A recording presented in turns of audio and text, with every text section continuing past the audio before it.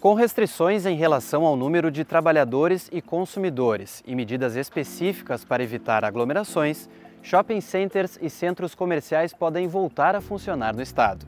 A nova regulamentação faz parte do modelo de distanciamento controlado implementado pelo governo estadual, que dividiu o Rio Grande do Sul em 20 regiões.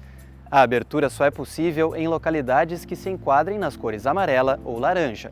As duas bandeiras representam riscos menos elevados de contágio pela Covid-19. Na bandeira vermelha, de risco alto, os estabelecimentos terão de funcionar apenas por teleentrega ou drive-thru.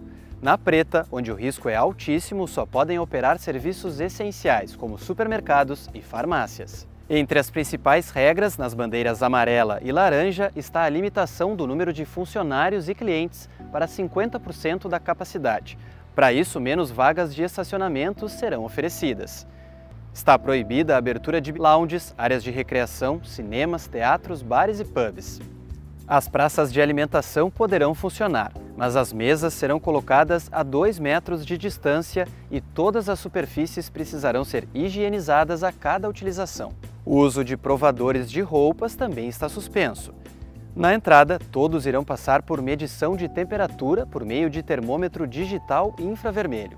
Cabe ao estabelecimento criar fluxos de movimentação de sentido único nas entradas e saídas. O uso de máscara e o fornecimento de itens de higienização, como álcool gel, também serão obrigatórios. Outra regra é o distanciamento mínimo de 2 metros nas filas de balcões de atendimento ou caixas. É importante ressaltar que as cidades podem ter suas próprias normas, se elas forem mais restritivas do que as regras estabelecidas pelo governo do estado, vale o que está definido nos decretos municipais.